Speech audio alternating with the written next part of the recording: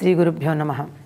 కర్కటే పూర్వఫల్గుణ్యాం తులసీకాననోద్భవాం పాండ్యే విశ్వంభరాం గోదాం. వందే శ్రీరంగనాయకీం. Telugu one ప్రేక్షకులకు స్వాగతం. ఏడవ నాటి ఉదయం గోదాదేవి తాను పిలుస్తున్న తలుపు తెరవకుండా బంధించుకుని ఉన్నటువంటి చెలిని నిద్రలేపుతూ చెబుతోంది. భరద్వాజ పక్షులు కీచుకీచుమనేటటువంటి ధ్వనులు చేస్తున్నాయి.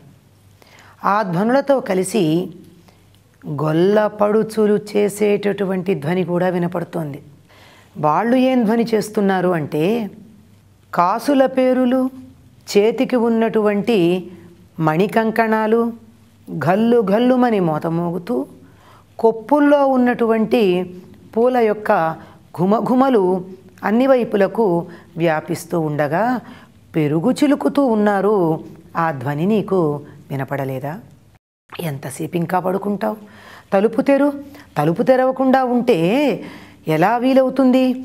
ఈ తెరు అనేది మ- ఎవరైతే ఇతరులు చెప్పేటటువంటి మాటలు వినడానికే ఇష్టం లేకుండా ఉంటారో వారిని సంబోధించి చెప్పడం. మంచి మాట చెప్తే నిజంగా విన్నట్టయితే చాలామందిలో మార్పు వస్తుంది. అసలు వినడానికే సిద్ధంగా ఉండరు. వింటే కదా మారడం. వింటే మంచి చెడు తెలుస్తాయి. ఆ వినడానికి సంసిద్ధంగా లేనటువంటి చెలిని కూడా పిలిచి చెప్తూ ఉంది. ఏమీ నీకు వినపట్టలేదా దేవాలయంలో ధ్వజస్తంభం మీద చిన్న చిన్న పిట్టలు ఉంటాయి భరద్వాజ పక్షులని. ఇవి చాలా శుభప్రదమైనవిగా చెప్తారు. వీటి శబ్దం కీసుకీసుమని వినపడుతూ ఉంటుంది. ఆ ధ్వని వెనకాల తాళం వేసినట్టు పరిమళం వచ్చినట్టు కూడా ఉంది. ఏమిటా తాళం వేసిన వచ్చినట్టు ఉండేటటువంటి ధ్వని అంటే అప్పుడే గొల్లపడుచు లేచారు. లేచి పెరుగు చిలుకుతున్నారు. ఇది గమ్మత్తండి.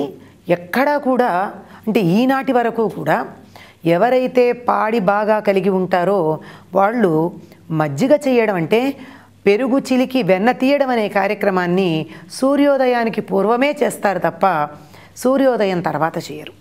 దీనికి సూర్యోదయానికి ముందే చేసేటటువంటి ఒక అద్భుతమైనటువంటి కార్యక్రమం. ఈ ధ్వని వినపడుతోంది ఎట్లా అంటే చేతులకి చక్కగా వాళ్ళు మణులు తాపడం చేసిన బంగారు కంకణాలు వేసుకున్నారు. మెడలో రకరకాలైనటువంటి కాసుల పేర్లు మొదలైన ఆభరణాలు వేసుకున్నారు. రాత్రి అలంకరించుకుని తల కొప్పులో పూలు పెట్టుకున్నారు. వాళ్ళు ఇలా పెరుగు చి- పెరుగు చిలుకుతూ ఉంటే ఏమవుతుంది? కొప్పు ఇలా కదులుతోంది. కదిలి పూలు ఘుమ ఘుమ వాసనని వెదజల్లుతున్నాయి. అంటే గొల్లపల్లెలో ఉన్నటువంటి గోపికలందరి తలల్లో నుంచి ఒకే రకమైన పూల వాసనలు ఇల్లు వెడలి బయటికి వస్తూ ఉంటే గొల్లపల్లె అంతా ఘుమఘుమలాడింది సాయంత్రం వాళ్ళు పెట్టుకున్నప్పుడు కాదు ఈ ఘుమఘుమ ఉదయం కదులుతున్నప్పుడు బాగా ఘుమఘుమలాడాయి ఆ తరువాత ఈ కదులుతూ ఉంటే మెడలో ఉన్న ఆభరణాలు ఏవైతే ఉన్నాయో ఇవన్నీ ఒకదానికొకటి ఒరుసుకుంటున్నాయి. చేతికున్న గాజులు గల్లు గల్లుమంటున్నాయి ఇవన్నీ మజ్జిగ చేయడం లేక చల్ల చిలకడం అన్నది ఉందే ఇది లయబద్ధంగా చేసేటటువంటి పని గనక ఇవి లయబద్ధంగా కలిగి తాళం వేస్తున్నట్టుగా ఉన్నాయి. ఆ భరద్వాజ పక్షుల యొక్క ధ్వనులు వాటి వెనక వచ్చేటటువంటి ఈ ధ్వనులు ఇవన్నీ మనకి చక్కనైనటువంటి మేలుకొలుపుగా ఉన్నాయి. నువ్వు లేవవా? నువ్వు వినడం లేదా? వింటే కదా ఎవరైనా తమలో ఒక కొత్త భావనని పెంపొందింపజేసుకుని ఉన్నత మార్గం వైపుకు సరైనటువంటి దారి వైపుకి వెళ్ళడం అని చెప్తూ ఉంది. ఇందులో ప్రత్యేకంగా ఈ మజ్జిగ చేయడం గురించి గోదాదేవి చెప్పడానికి కారణం ఏమిటి? అంటే ఈ పెరుగు పాలు మజ్జిగ వెన్న పెరుగు ఏవైతే ఉన్నాయో ఇవన్నీ కృష్ణుడికి చాలా ఇష్టం. ఏమిటి అంటే ఆయనకి గుమ్మ పాలు కాచిన పాలిష్టంట పాల మీద మీగడ ఇష్టంట ఆ తర్వాత పెరుగు ఇష్టంట పెరుగు మీద మీగడ ఇష్టంట పెరుగుని చిలికి వెన్న చేస్తే వెన్న ఇష్టంట వెన్న కాచి నెయ్యి చేస్తే నెయ్యి కూడా చాలా ప్రీతిపాత్రం.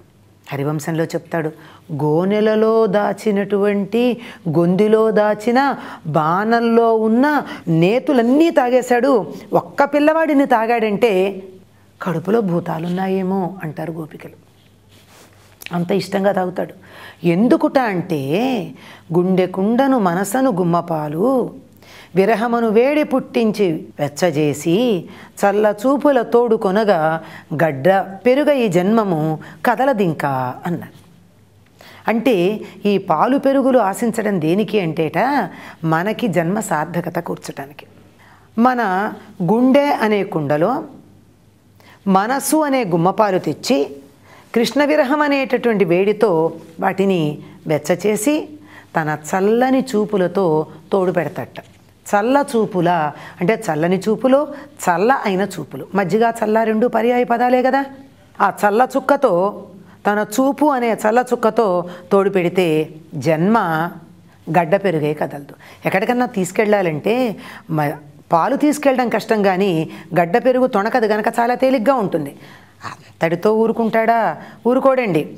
ఆ తర్వాత విరహం కలిగించి కవ్వమై మనలజొచ్చి మనసు మధించు.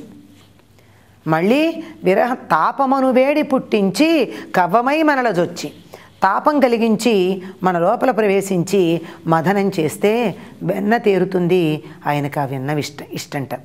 వెన్నైనా తింటాడు గుమ్మపాలైనా ఏవైనా తీసుకుంటాడు. తనకు ఇష్టమని ఈ గొల్లపల్లెలో అన్నీ గోసంపద బాగా ఉండి పాడి బాగా ఉండేటట్టు చూస్తాడు. అందువల్ల ప్రతి గోపిక అనుకుంటుందిట పాలు తీస్తూ. కృష్ణుడొచ్చి గుమ్మపాలు తాగితే బాగుండే అని. రాలేదనుకో ఆరగాచి ఎర్రగా కాగాయి కదా పాలు కృష్ణుడు తాగితే బాగుండు అనుకుంటుంది అప్పుడు తాగలేదనుకో తోడు పెట్టి పెరుగు మీద మీగడ బాగుంది చాలా మందంగా కట్టింది. కృష్ణుడు వచ్చి తింటే బాగుండనుకుంటుంది. అప్పుడు రాలేదు. అప్పుడు వెన్న చేసి పెడుతుంది. ఇది కొంచెం సేపైనా పర్వాలేదు కదా? అప్పుడు కూడా రాకపోతే నెయ్యి కాచి దాస్తుంది. అంటే ఇదంతా సాధన. కృష్ణుడి కోసం తపన పడుతూ ఉంటే ఆ తపన పరాకాష్ఠకు చెందినప్పుడు గుమ్మపాలైనా తాగుతాడు. లేదా తపన అంటే భక్తి సాధన తపస్సు ఎక్కువయ్యి నెయ్యి దాకా వెళ్ళిన తర్వాత అయినా స్వీకరిస్తాడు. ఎప్పుడైనా స్వీకరిస్తాడు. అందువల్ల పాడి పాలు మజ్జిగ చిలకడం అనేది గోదాదేవి తరచుగా మనకి చెప్తూ ఉంటుంది. మన గుండెల్ని కుండలుగా చేసుకుని మనస్సుని కృష్ణభక్తి అనే తాపంతో వెచ్చబెట్టి ఆయన అనుగ్రహం అని తోడుపెట్టి అది కదలకుండా చేస్తే అప్పుడు పొరపాటున మనకి దూరమైనప్పుడు కలిగే విరహం వల్ల దాన్ని చిలికి వెన్న చేసి స్వామికి అర్పించాలి. అది కృష్ణుడు మన నుండి కోరుకునేటటువంటి నవనీతము. అప్పుడే తీసిన వెన్న అని చాలా గొప్ప విశేషం చెప్తూ ఉంది. గోధుమ మనకి నీళాతుంగస్తనగిరితటీ సుప్తముద్బోధ్య కృష్ణం.